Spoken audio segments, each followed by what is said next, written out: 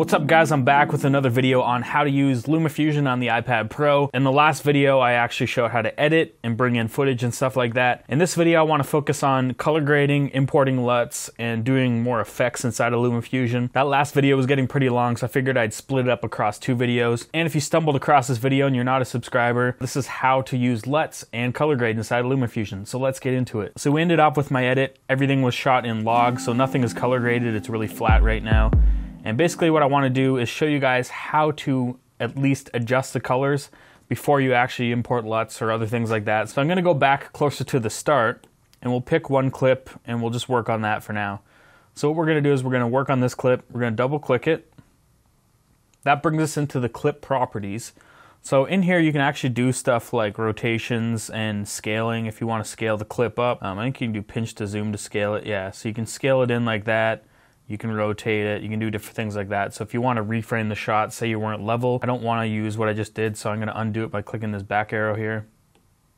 I guess I made a few steps. Okay, now we're back to the beginning. But uh, I actually do remember one clip that was kind of a little bit off. Um,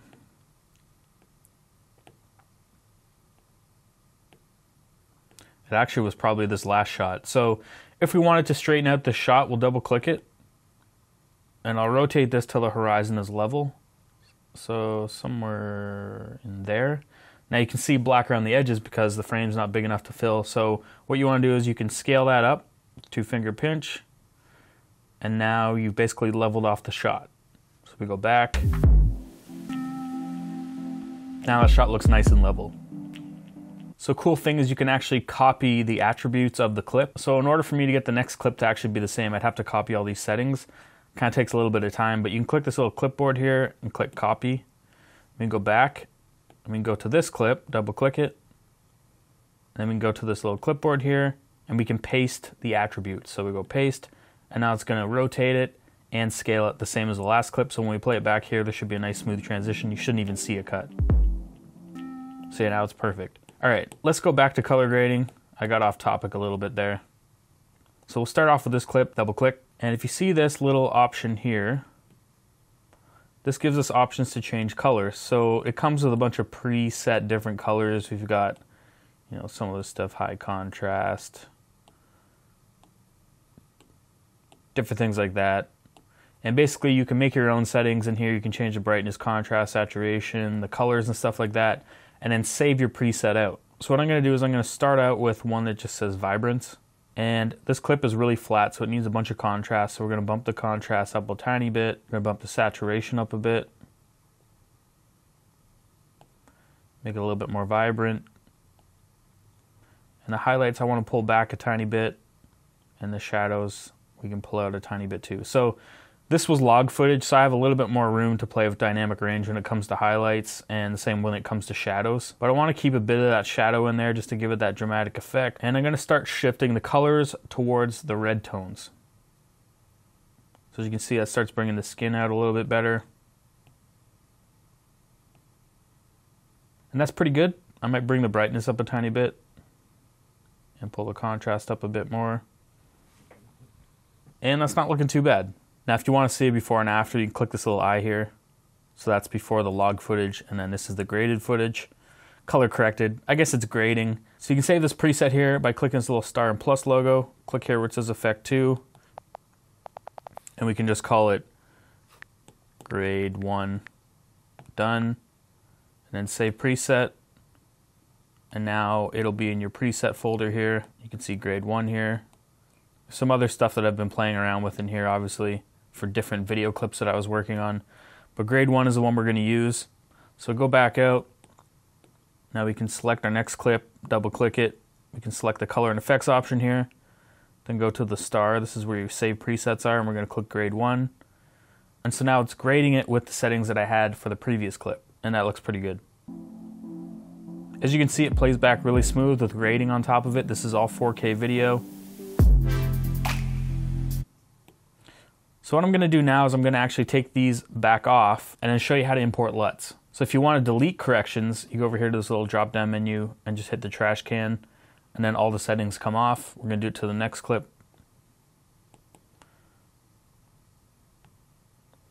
All right, so you can download all kinds of different LUTs and save them to Google Drive. I actually made my own LUTs in Premiere and exported them and uploaded them to my Google Drive. So I'll show you how to do that. You go to this little icon here, and then it says import presets and LUTs. We're gonna go to Google Drive, and I made a folder called iPad Pro tests. And you can see here I have a couple of different .cube files, and these were exported out of Premiere. Uh, you can basically import any kind of LUTs. There's lots of different LUT packs.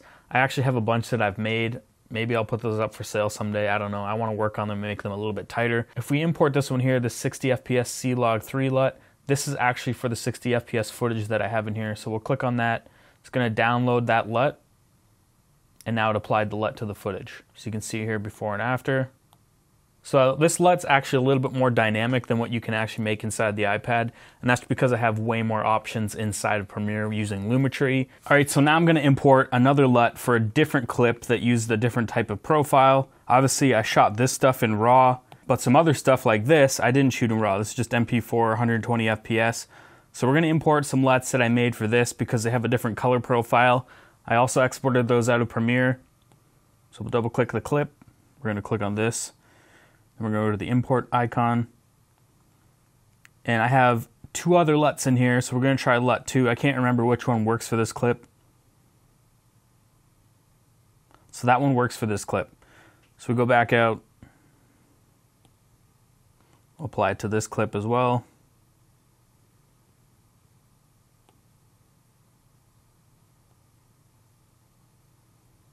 Okay, so if you want to save these LUTs, into your actual preset folder.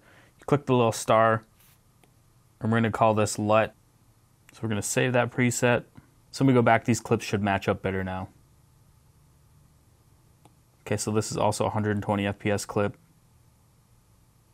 Now I could copy the attributes, but but I'm not going to do that right now. I'm just going to import this. Actually, no, I'm going to, I already saved the LUT, so I can bring it in here. There we go.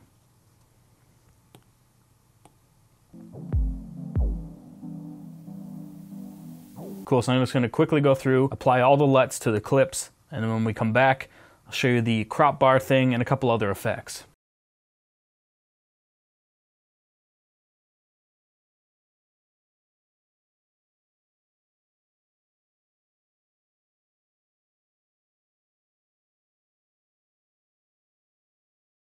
Okay, so now I've got all the LUTs applied. There's a couple clips that don't really work. Uh, these were a little bit overexposed, I think, and this was a little underexposed. So we can go in and fix the color here by changing some settings. So we need to lower the exposure and add a little bit of green and orange to this shot. So I just click vibrance and then here we can change some of the settings. So we're going to lower the brightness down a little bit. Lower the highlights back a little bit. Then I'm going to slowly add some more red to the shot and some yellow to the shot and also some green to the shot. And I think we need to add a bit more saturation. So I need to add a little bit more green.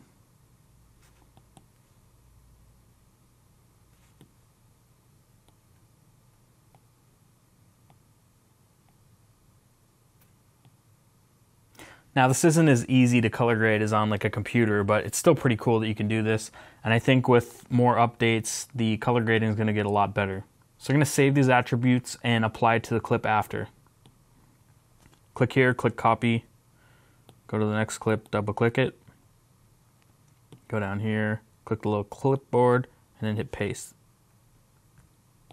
Now I think I may have added too much green to it, but I'll leave it like that for now. Now this next clip I find is a little bit too dark and a little bit too blue. So we're going to add vibrance to it. Back off the contrast a little bit. We're going to add a little bit of green to it and some more yellows. And bump the brightness up a tiny little bit.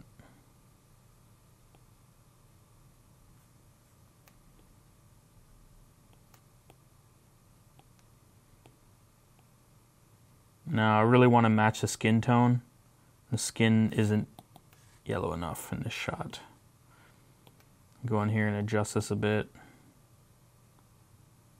Now I could go back into Premiere, adjust the LUT, and export it back, but that's just too much work. So it's good to be able to adjust it on here. All right, so that's just some basic color grading. So now I want to show you a few effects. We're gonna double click this clip.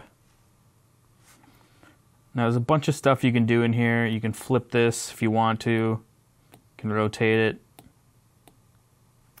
But if we go in here to the settings, click this little cube, uh, there's a couple other options in here. I noticed that they've added Filmic Pro D-Log. So using Filmic Pro, the app, they've actually got an expansion pack that you can pay a little bit more for it, and you can shoot log with your iPhone or the iPad. Uh, I found that it's really noisy and doesn't work too well, but it's cool they've added an option in here to use D-Log so it'll auto apply something to get you out of a flat picture profile and something you can already have sort of half graded. You can add vignetting. You can adjust the amount you want We're not going to use that. A bunch of other different weird effects. I wouldn't use any of this stuff. But as you can see, you can double them all up, triple them up. But we're not going to use that. In here, you can do some blurring and different things like that. If you wanted to blur the shot a little bit. Cool thing is you can apply keyframes to any of these effects. Play it ahead a little bit. Add your next keyframe, and basically that will blur between two points. So that's your start point, and then this will be your end point. So now when it plays, it'll blur it. We're not going to do that, we delete that. You pretty much do that with any effect. It's really similar to Premiere and Final Cut. Unsharpening, zoom. So you can like change the amount you want to zoom in and out so you can do some cool transitions. I'm not going to use this. So as I said, I was going to put crop bars on this. I actually made a PNG file in Premiere. If we go to the imported files, this is it down here. Click, drag it to the timeline. So as you can see, it added crop bars to it. And this is just going to level out some of the shots that were in UHD and some were in full 4K.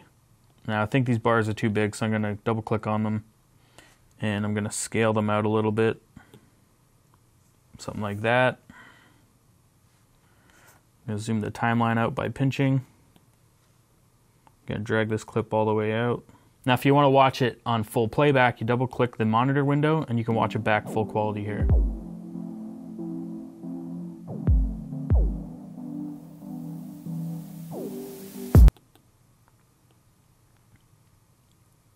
Anyway, that's basically color grading, adding in LUTs on LumaFusion. It's in the App Store. I can't remember how much it is. I'll put a description down here how much it is. This isn't a sponsored video. It's a really awesome editing app. It's way better than iMovie in my opinion. But uh, yeah, if you like this video, give it a thumbs up. If you dislike this video, give it a thumbs down twice.